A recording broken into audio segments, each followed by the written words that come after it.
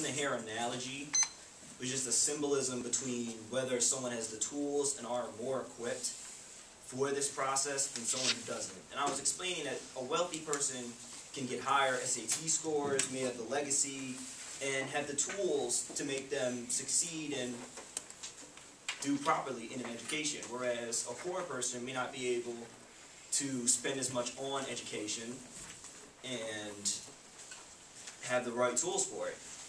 So I was simply saying that not all things are equal, and affirmative action helps them become way more equal than what they would be if it wasn't there.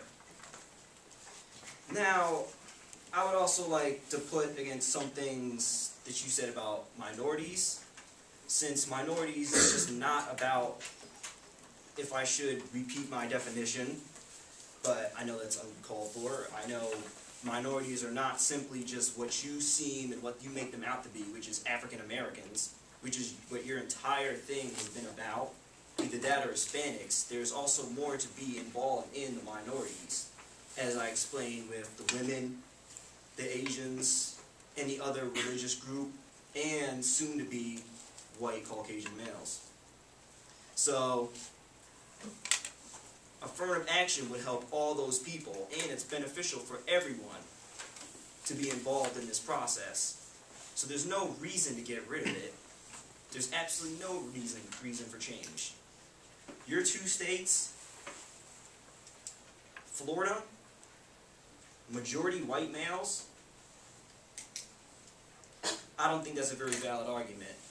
And I also would say that there is no reverse discrimination for this because once again, affirmative action does help everyone involved in more ways than just college admission process. There is also the entire field of diversity and connecting with different people of different groups and ethnicities that is truly beneficial for us all.